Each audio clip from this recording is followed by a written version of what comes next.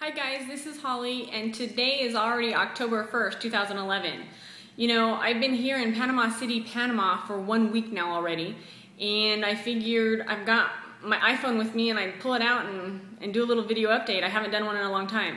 You know, almost three years ago now, I had my first procedure in Costa Rica at Cell Medicine. Um, three years ago, October 27th, I went down for stem cell treatment, my first stem cell treatment.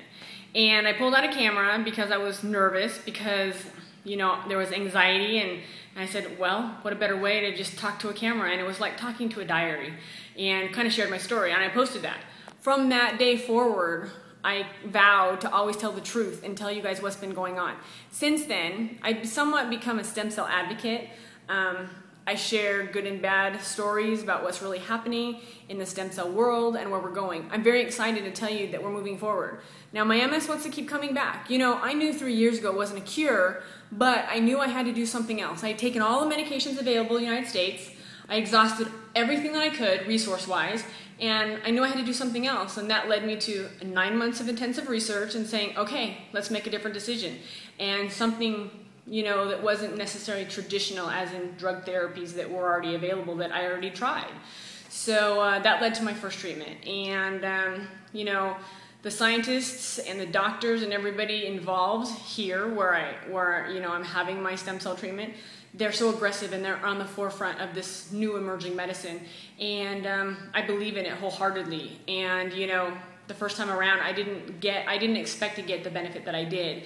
But you know three months after treatment i could feel my feet again.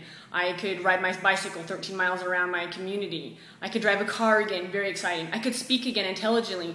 I had the time to work do little video updates not nearly enough but do the video updates do a website and then write my story and keep telling you guys what's been going on well, about three months ago, my symptoms wanted to creep back. Nothing to where I was three years ago.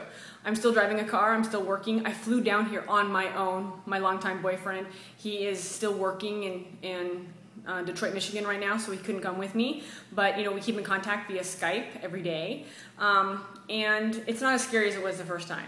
I've learned so much about stem cells and I, you know, I'm kind of in the mix now to the point of where I have a new understanding better than I did the first time.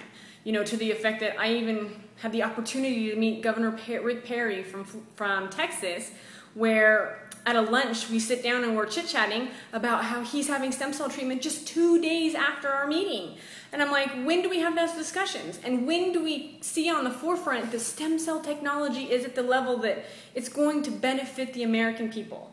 I'm very, very excited about that. And worldwide, because again, every country that moves forward just benefits all of us. Um, I've seen so many things happen. You know, I've been able to see spinal cord injury patients walk again.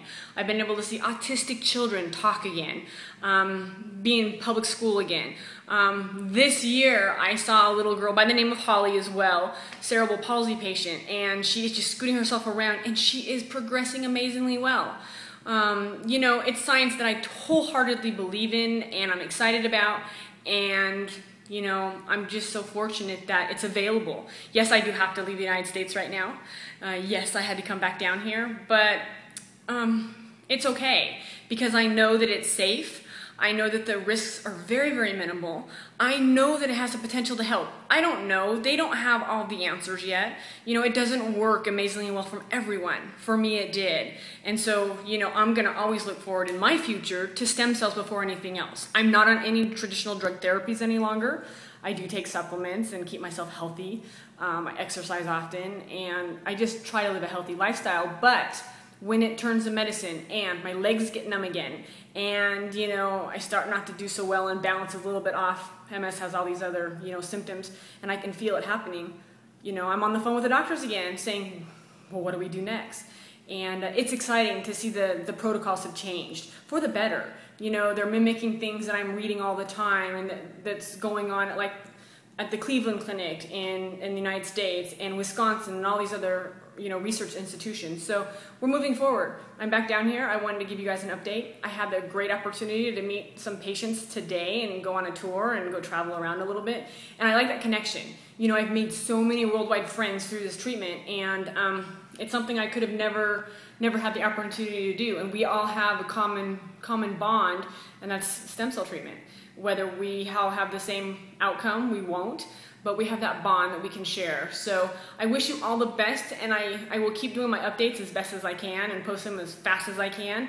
And again, keep researching, keep educating yourself, and just know that I believe that there is new medicine out there